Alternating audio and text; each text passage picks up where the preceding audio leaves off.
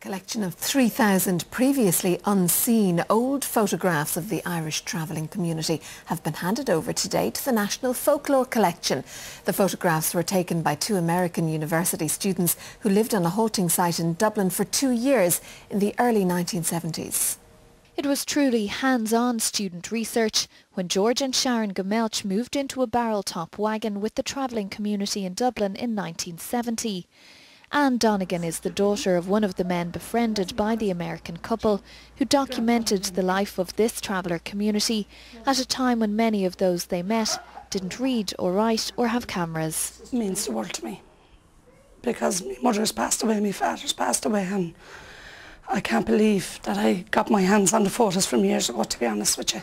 My mother always spoke of George and Sharon and my mother always spoke highly of them. Were living with my mother and father years ago in wagons. Those photographs, so precious to Anne, have now been handed over to the National Folklore Collection here at UCD, home to one of the world's biggest collections of social history material. It's a very exciting collection to receive and it will really augment and complement the National Folklore Collection here at UCD.